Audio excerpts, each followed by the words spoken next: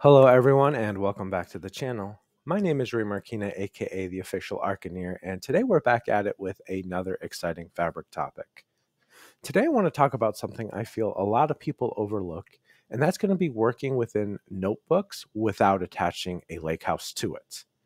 As I've been developing over the last several months, one of the pain points that I've realized is as I merge off of my development branch and create my own feature branch, if I open a notebook and it had a lake house attached, it will still be attached to my dev branch.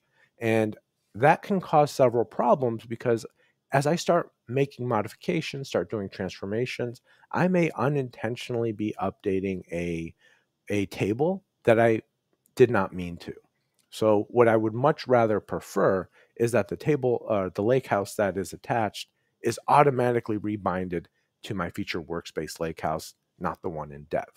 So again, that could unintentionally cause problems where you know someone might be doing ETL testing. You might have scheduled pipelines that um, are expected to have a certain amount of data, and you might be you know potentially impacting that data, or maybe even looking at reports, unintentionally impacting those reports because of this issue. So today I'm going to walk you through how you can bypass attaching a lakehouse altogether so that maybe this isn't going to be an issue for you going forward. So sit back and let's jump right into it. All right, so the first thing I want us to take a look at is what actually happens when I merge off of main. So here I have a notebook that's loaded some data for me and I have a bronze lake house. I'm going to click source control and I'm going to create my own localized feature branch. So we'll give it a meaningful name. We'll say feature test branch and we'll create a brand new workspace. We'll call it arc dev ray workspace. This will be a new workspace that I'm creating off of my dev branch. And what I want to show you is that as it creates these objects, it creates this notebook and it creates um, this lake house, that when I open up that notebook, it will still be attached to my dev workspace. And again, that is a, a pain point because in this particular instance, if someone relies on that data in dev for other processes and I start making changes, that would unintentionally impact that person. So let me open up a notebook here, NB Data Loader, and let me show you what it looks like. So here you can see I'm just loading in some customer data, product data, and order data. And if I look at the lake house that's attached, you'll see that I have data in here automatically. Now, one of the things that it doesn't show is it doesn't actually show you that this is attached to dev. But the way that I know it's attached to dev is because if I go into my own feature workspace, again, Ray workspace, and I go into my bronze lakehouse, one of the things I'm going to see is this is actually empty. So the fact that this has data actually tells me that this is indeed pointing to my dev branch. So again, this is what I don't want. And one of the ways that I'm going to look to bypass this is by not attaching a lake lakehouse altogether.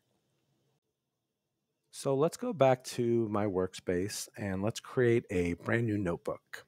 Let's create this notebook. And what we're going to leverage here is the MS Spark Utils list lakehouse. So let me grab the MS Spark Utils dot lake house sorry lake house list. And what this is going to do is this is going to print out all the lake houses that i have within my workspace. But for me what i'm going to do is i'm just going to say uh, lake house i'm going to pass this into a variable called lake house info while this is running Uh, but I wanted you to see the printout of what this is returning. Now, keep in mind, this is a list. So if I have multiple lake houses in here, it's going to return all of the lake houses um, that it has access, that it's able to, to see within my workspace. So if I have a gold, a bronze, a silver, it'll all be displayed here. So you'll see that I have some attributes like the name of the lake house, the workspace ID. What's most important here is for us is going to be the absolute path or the ABFS path, I should say. And one of the other things that I think is really powerful and, and, why I might use this oftentimes is because I'm able to also extract the workspace ID that I'm in. So rather than use like maybe an API call, I could use this and I can just easily grab my workspace ID uh, without having to, to go through an API call within my notebook. All right, so what we're going to do next is we're going to want to specifically target that, you know, we want the bronze lake house. So we're going to say uh, bronze lake house. So we'll create this uh, variable. And we are going to use the next function. And we're going to say uh, item for item in my, so what we're essentially doing is we're iterating through this string here, but only if the item display name item dot get so we'll say item dot uh, this the display name is equal to bronze right because we don't care about anything else and we want to make sure that we're coding in a way that we're targeting specifically what we're looking for so if i didn't include this and you know, I were to list everything, you know, maybe I'll get back like silver, or maybe um, I'll get something that I wasn't looking for, and I would land my data in a in a place that I didn't want to. And we'll close this off. And now what we can do is because now we have this information here, we'll be able to extract that path explicitly. So we'll say bronze lake house path. And now we can say that this is going to be my bronze lake house and we want to extract the properties.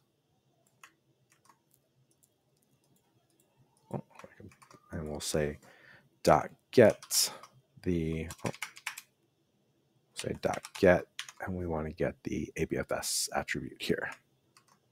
Let's go ahead and see if that works and let's see if we can print that out. So we'll print the uh, bronze lake house path here.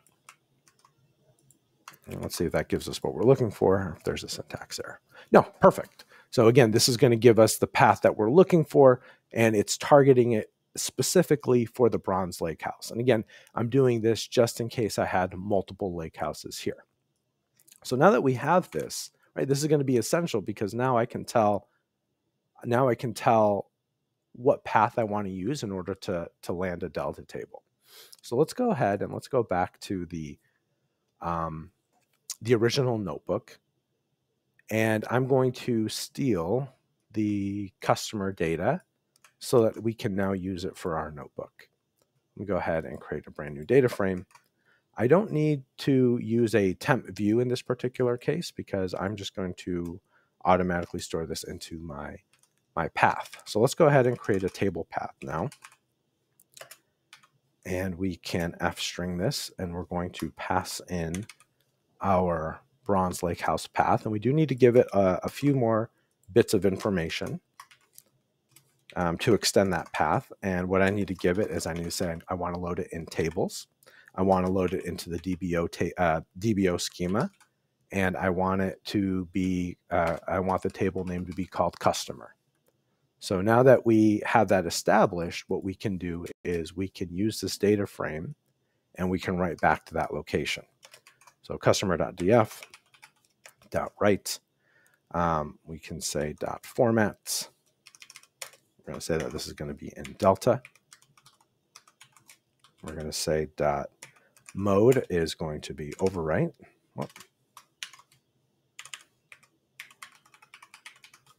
And then lastly, we're going to say save. So typically what you might use is you might use save table as. In this case, we need to use save, and then we just need to pass in the table path. Again, this is without attaching a lake house. This is how we're able to bypass using a lake house altogether. And it's going to be by using that ABFS path. So this is running. This is a good sign that tells me that it's thinking. And if we go back over to my, my feature workspace lakehouse and I do a refresh here, now I can see that I have the customer lakehouse here. Um, and let's just give it a second to see if we can get some data in here. But again, very powerful because now those pain points that I mentioned are no longer going to be an issue. So here you can see we have Bob all the way to Deanna.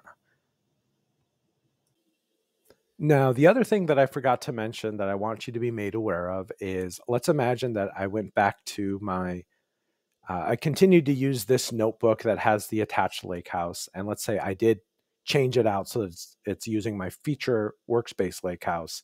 I, I made the adjustments that I needed to make to the notebook, and I'm ready to deploy back into. I create a PR, and I'm ready to um, deploy this back into the main branch.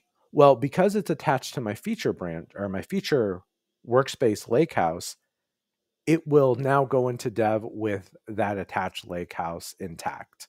I would neither I would either need to remember to change it back to dev before the PR, or I would need to remember to um, uh, change it after the fact, right? Again, a lot of pain points, a lot of things that we're putting on the developer to remember. So using it in this method without attaching a lakehouse, using the ABFS path, at this point seems to be preferred.